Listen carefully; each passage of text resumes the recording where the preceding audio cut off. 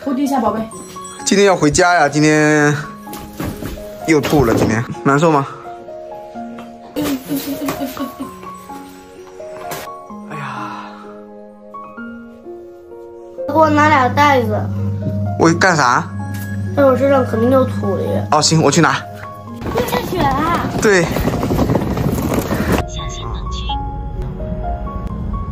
一下车又吐了，难受死了。我们今天要在雪中起飞，好吃吗？居然又吐了，在雪地中起飞了，飞过云层，见到太阳了。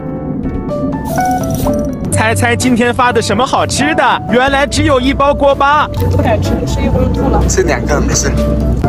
还想着吃啊？难受的睡着了。